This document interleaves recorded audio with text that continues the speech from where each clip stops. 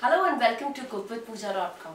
Today we are going to prepare one of the most quintessential Indian street food, pav bhaji. Tangy, spicy, with the flavors of lots of vegetables cooked in butter. So let's have a look at the ingredients first. We need 2 tomatoes finely chopped, 1 big onion finely chopped, 1 4th a cauliflower grated, 1 4th a capsicum finely chopped, 2 potatoes boiled and mashed, 2 to 3 tablespoons of butter, 1 teaspoon of salt, 2 tablespoons of ginger garlic paste, 2 big teaspoons of pav bhaji masala, 2 teaspoons of lemon squeeze, 2 teaspoons of coriander powder, 1 teaspoon of amchur powder that is green mango powder, 1 teaspoon of red chili powder. That's all. Let's start preparing it.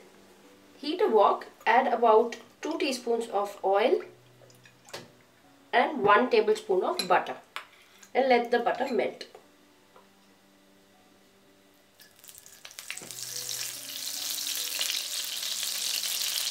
Add chopped onions and saute them until translucent pink.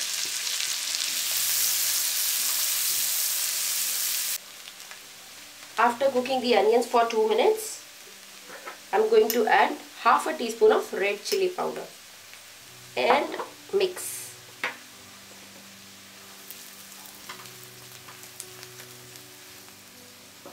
After that, 1 tablespoon that is half the quantity of ginger garlic paste and mix well.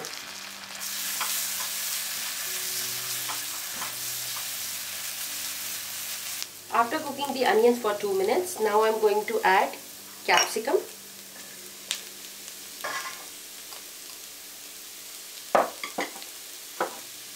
And mix well. After cooking the capsicum for a minute, I am going to add the grated cauliflower. And again mix well. Also if you like you can add boiled peas. I like it so I'm adding very little of it.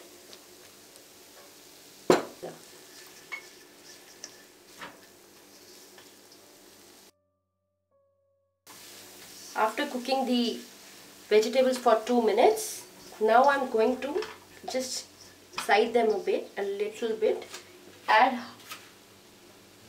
half a teaspoon of oil.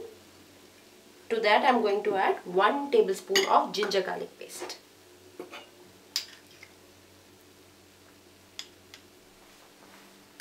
And mix well so that the ginger and garlic raw flavors goes off.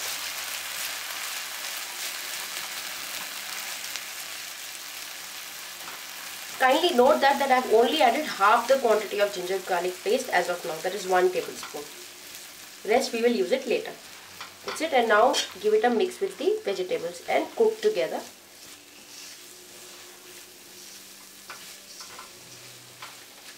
Keep mashing it with the help of spatula side by side cooking them. Now I'm going to add some spices 1 teaspoon of red chili powder. 2 teaspoons of coriander powder.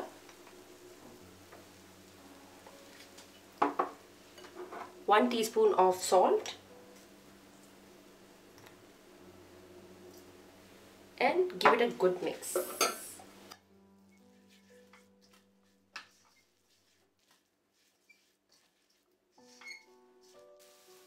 now we will add tomatoes and mix well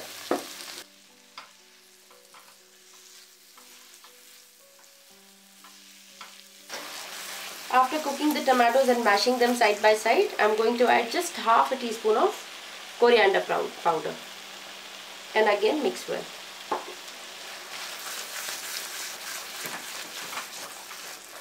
Mash like this using a spatula side by side.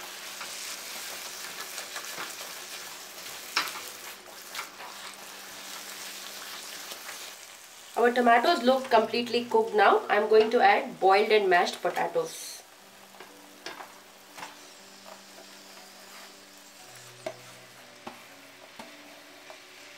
And mix well.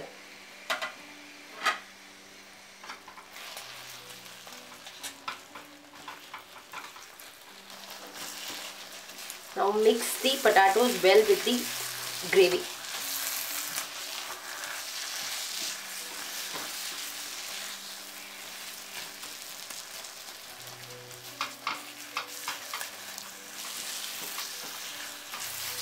It will take about 2 minutes but keep mixing until the potatoes are completely blended and you are not able to see the potatoes at all. At this stage add about 1 cup of water and mix side by side.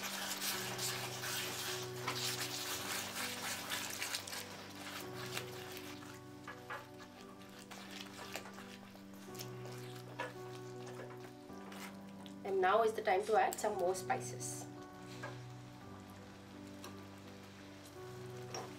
Half a teaspoon of amchur that is green mango powder and 1 teaspoon of pav bhaji masala. This is the half of the quantity. Rest half we'll use later. And give it a good mix.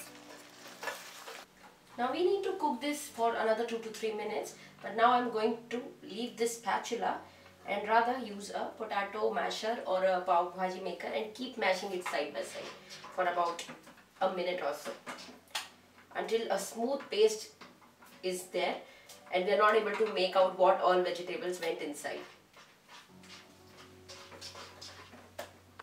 After mashing for about 2 to 3 minutes, I have received a very thick and smooth paste now I'm just going to add little bit of food color. This is completely optional as it is only going to give you the color like you get it in restaurants but it doesn't impart any taste.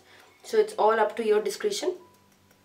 I like it with the restaurant like color so I'm just adding it and just give it a good mix.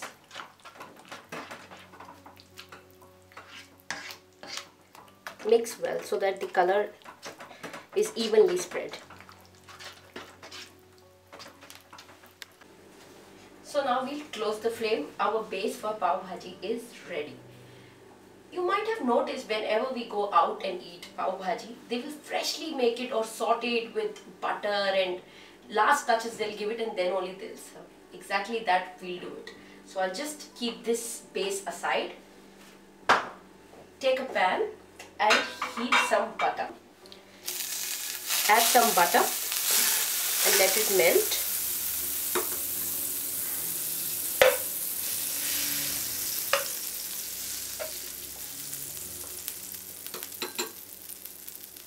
Again we will add some ginger garlic paste about a teaspoon after the butter melts.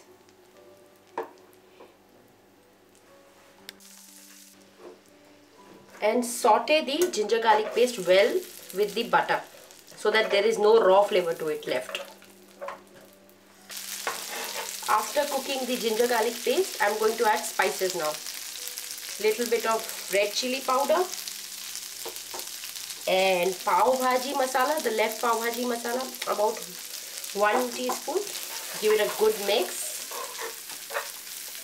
If needed, you can add little butter more at this point as I think I'll have to because it has to be very buttery. Yes. Wow, what flavors are coming up. My gosh. And now to this tarka, we are going to add our base of pav bhaji masala that we prepared and fry it with the butter and serve hot.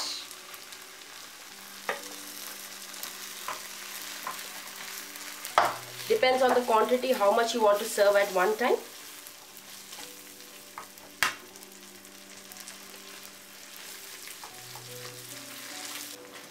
That's it. Now I'm going to lastly add lemon squeeze about 2 teaspoons because I like it tangier. Actually everyone likes it tangier when it comes to pav bhaji.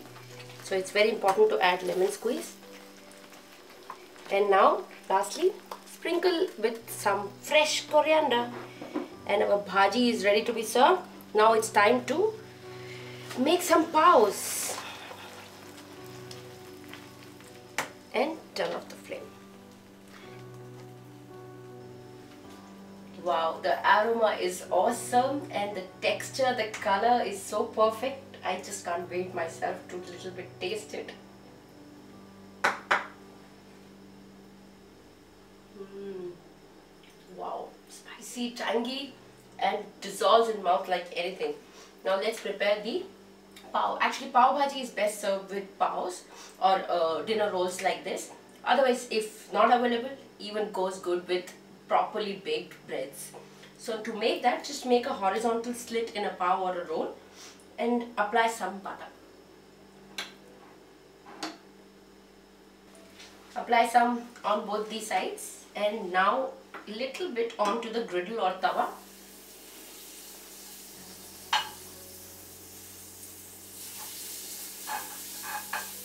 and your pav onto the griddle, hot griddle. Now just open your pav and apply some bhaji inside it just like we do it for sandwiches or something. This will give amazing taste while eating. That's it, not too much, little bit. And change the side and cook it from both the sides completely.